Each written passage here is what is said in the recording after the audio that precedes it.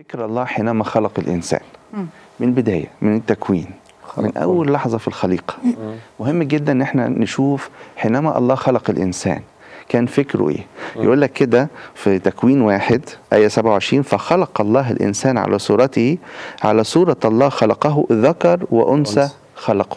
إذا صورة الله في الخلق وصورة الله في الإنسان إن هو يخلقهم ذكر وإيه ذكر وأنثى. وأنثى باركهم الله وقال لهم أثمروا وأكثروا وأملأوا الأرض. دي رؤية الله حينما خلق الإنسان. وفي النهاية ورأى الله كل ما عمله فهو إيه؟ حسن. حسن. جدا.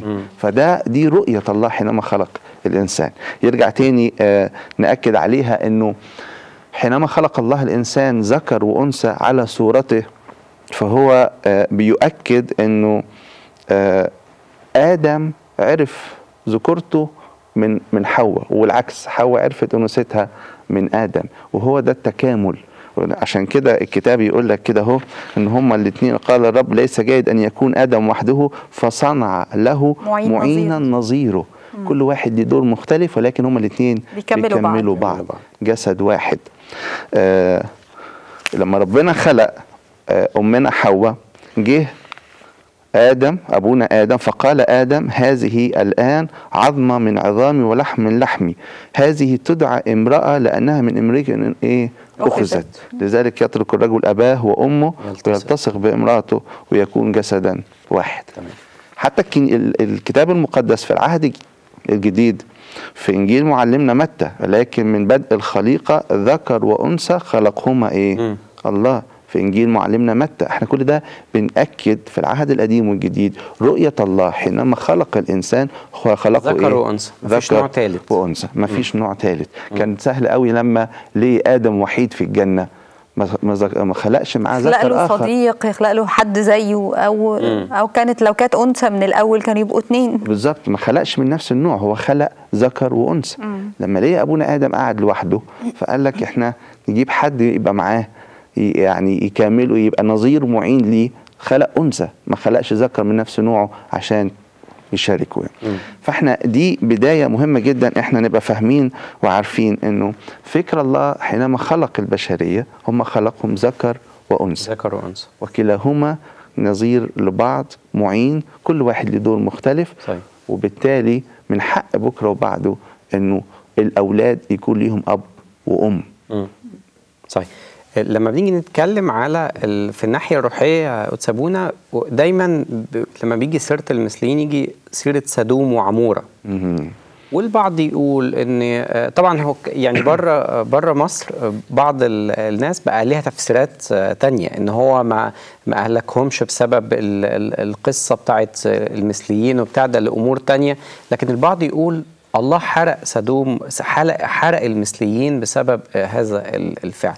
بيبقى رد الكنيسة إيه؟ أو رد الكتاب إيه؟ أو كتابيا حكاية سدوم وعمورة وعلاقتها بفكرة المثليين. آه اسمحوا لي بقى الحتة دي بقى محتاجين نرجع الأول لخلفية علمية الأول. أيوه ومن الخلفية العلمية نفهم النص الكتابي. اتفضل. آه ما هي المثلية الجنس المثلية الجنسية؟ المثلية الجنسية هي اضطراب الهوية اللي بيحصل في الطفولة من سن ثلاث سنين لسبع سنين. اضطراب الهوية الجنسية ده اللي بيخلي الشخص يحصل عنده انجذابات وميل من الجنس من نفس الجنس. مم. وده مرض نفسي. وده كان مشخص في دليل الجمعيه الأمريكية لغاية سنة 73 إنه ده آه، مرض من ضمن الأمراض النفسية. ولكن للأسف شالوه. اتشال لجزء سياسي. مم.